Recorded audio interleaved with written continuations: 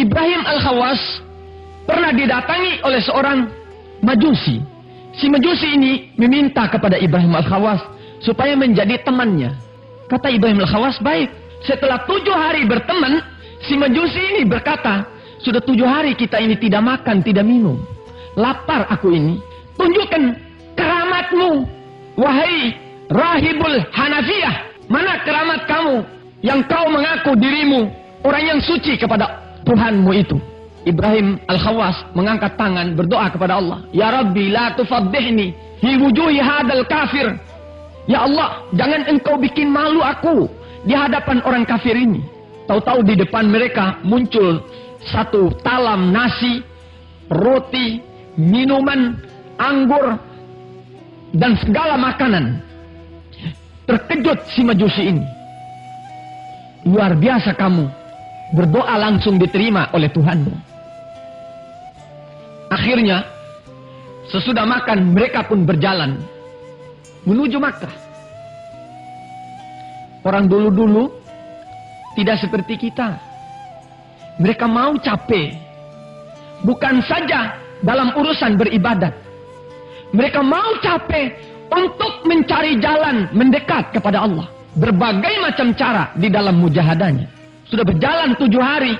Fabadarahul imam Ibrahim al-Khawas.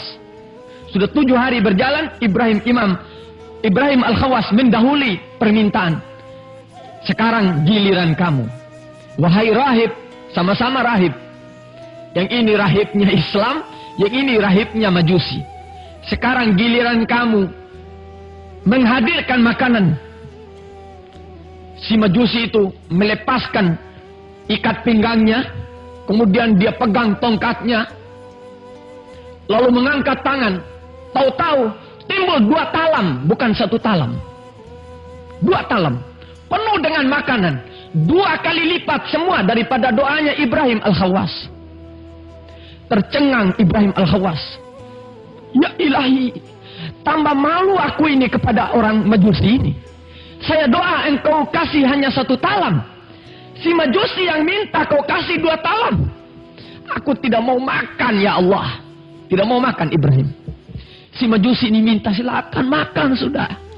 Tidak aku tidak mau makan. Tolong kau makan. Berulang-ulang diminta untuk makan. Ibrahim Al-Khawas tetap tidak mau makan. Akhirnya majusi ini berkata. Kalau kau makan akan kuberitahukan tentang dua perkara. Apa kata Ibrahim Al-Khawas? Tidakkah engkau tahu? Aku sekarang sudah mengucap asyhadu an la ilaha illallah wa asyhadu anna Muhammad Rasulullah. Kemudian saya berdoa, ya Allah, apa isi isi daripada hati Ibrahim Al-Khawas ini supaya engkau berikan ya Allah.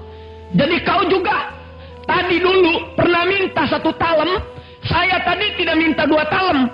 Karena saya minta menurut isi hati kamu, Allah Ta'ala kasih dua talam karena saya sudah beriman kepada Allah Subhanahu Wa Ta'ala. Kalau orang itu baru mengucap dua kalimat syahadat, semua permohonan dan minta, permintaannya dikabulkan oleh Allah. Kenapa kita yang sujud tiap hari lima waktu, apa yang kita minta belum juga dikabulkan oleh Allah? Apa kesalahan kita? Kalau dosa dia sudah dari dulu berdosa. Baru belum sembahyang dia.